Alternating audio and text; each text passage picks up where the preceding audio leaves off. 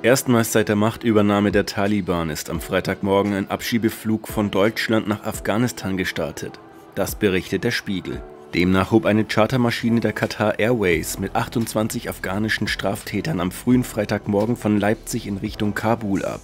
Die vom Bundesinnenministerium organisierte Abschiebung sei seit gut zwei Monaten unter strenger Geheimhaltung vorbereitet worden, schreibt der Spiegel.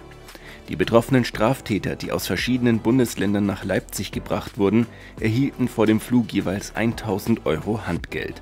Nach Spiegelinformationen hat die Bundesregierung nicht direkt mit den Taliban verhandelt.